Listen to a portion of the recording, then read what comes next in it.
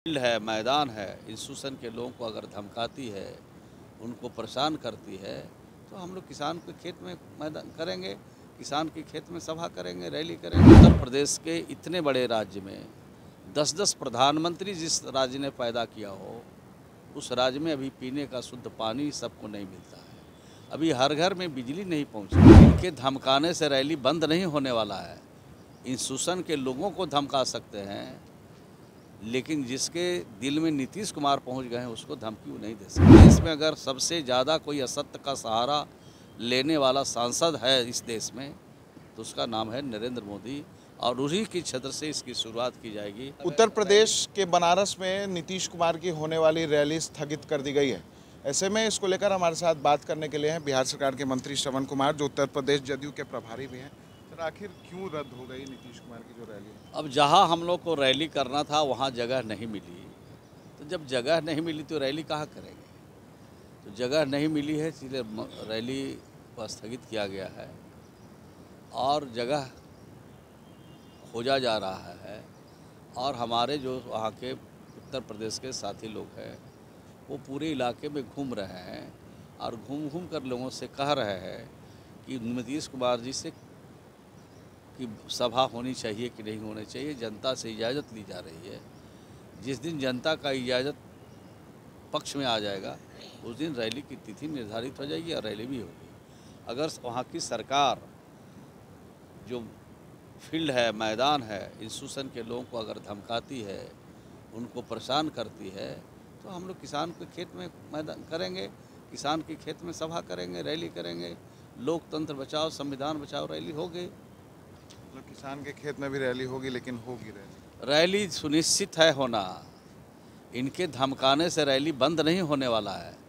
Institution के लोगों को धमका सकते हैं लेकिन जिसके दिल में नीतीश कुमार पहुँच गए हैं उसको धमकी वो नहीं दे सकते।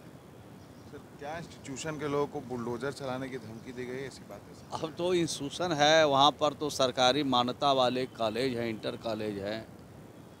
रोहनिया इंटर कॉलेज है तो उसको कहते हैं कहा, कहा गया कि आप अगर उनको दीजिएगा तो आपकी मान्यताएँ रद्द कर देंगे। बुलडोजर चल जाएगा आप पर।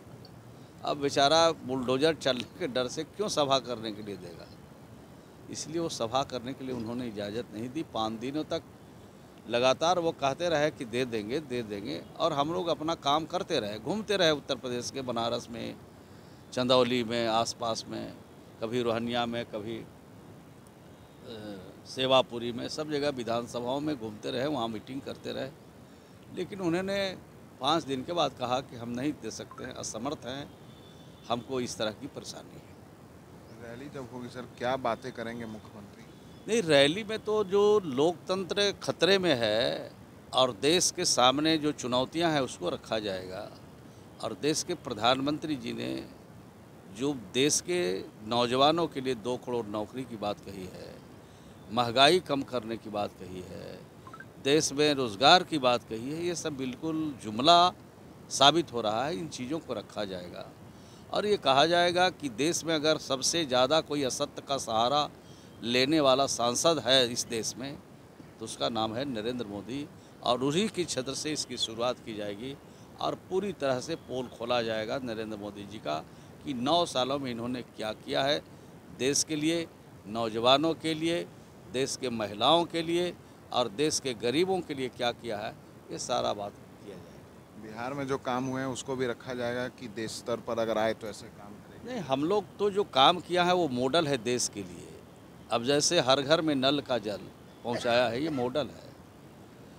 उत्तर प्रदेश के इतने बड़े राज्य में दस दस प्रधानमंत्री जिस राज्य ने पैदा किया हो उस राज्य में अभी पीने का शुद्ध पानी सबको नहीं मिलता है। अभी हर घर में बिजली नहीं पहुँची है। गाँव की सड़कों को देख करके आपको विश्वास नहीं होगा कि ऐसे भी सड़कें होती है क्या? यानी गड्ढे में सड़क है या सड़कों में गड्ढे हैं, ग्रामीण क्षेत्रों के सड़क। नेशनल हाईवे की बात नहीं करते। नेशनल हाईवे तो बिल्कुल दुरुस्त है। हाईवे तो दुरुस्त है लेकिन गाँव में जाने के लिए जो सड़कें हैं वो गड्ढे में तब्दील है ऐसी सड़कें बिहार में हमने नहीं देखा है। अंतिम सवाल है कब घोषणा होगी रैली की? बहुत जल्द अभी एक राउंड लोग घूम लेंगे, बनारस ज़िले के सभी प्रखंडों को, सभी इलाकों में घूम घूम करके लोगों से बात कर लेंगे। अब बात करने के बाद जल्द ही मैं समझता हूँ जनवरी महीने में होनी चाहिए सभा।